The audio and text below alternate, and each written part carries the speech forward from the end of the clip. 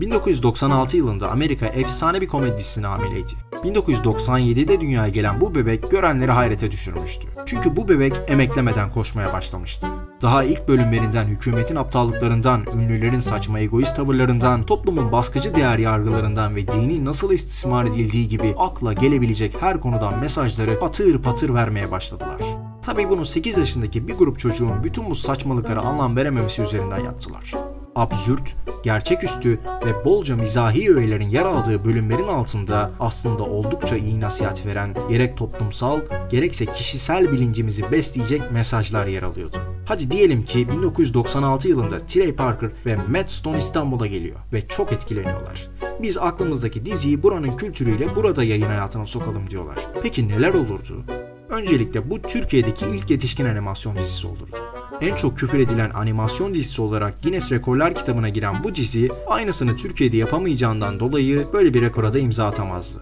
Dizinin ilk bölümlerinde de çokça bel altı, siyasi içerikli mesajlar ve eleştirel parodiler göremezdik. Ama bu haliyle bile verilen mesajlardan ötürü rahatsız olan bir kesimin olacağı su götürmez bir gerçek. E zaten yazarların yabancı olması da büyük bir sorun. Çünkü insanlar bakın bakın bunlar bizim kültürümüzü karalıyorlar. İşte biri Amerikalı, biri Yahudi. Bu Amerika'nın bir oyunu diye bir çıkışta da bulunabilirlerdi.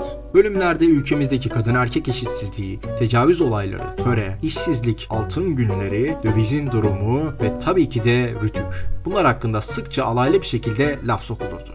Eee böyle bir dizi ülkemizde yayınlansa sünnetten kaçan Eric Cartman'ın olacağı bir bölümde kaçınılmaz olurdu. Türkiye'nin dış ve iç siyasi tavrını eleştireceğinden dolayı dava davayı kovalardı. Bununla beraber gayet iyi niyetli ama salak olan South Park sakinleri üzerinden halkın aşağılandığı gerekçesiyle başka davalarda açılabilirdi. İnsanların özel hayatlarına ve dini inançlarına saygılı bir toplum olduğumuzdan hiçbir sanatçı ya da politikacı dalga konusu olmaz diye düşünebilirsiniz. Ama bu dizinin ruhunda ironi ve mizah olduğu için bu kaçınılmaz bir şey. Bu arada yapılacak en ufak bir South Park vari espride mutlaka mağdur olacak, alınacak, ayrımcılığa uğradığını düşünecek etnik, siyasi veya sosyal bir toplum mutlaka ve mutlaka olurdu ve diziyi mundar ederlerdi.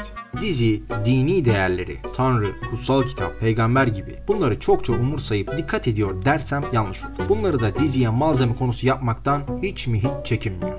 Diziyi izleyenlerin hatırlayacağı üzere dizide İsa peygamberin talk show sunuculuğunu yaptığı ve inananların dertlerini giderdiği bir bölüm vardı. Bunun gibi bir olayın bizim ülkemizde de yayınlanması çoğu kişiyi kızdırabilirdi. Daha ilk sezon bitmeden yayından kaldırılmış olabilir veya daha kötüsü Matt Stone ile Trey Parker'ın ölümüyle sonlanabilirdi.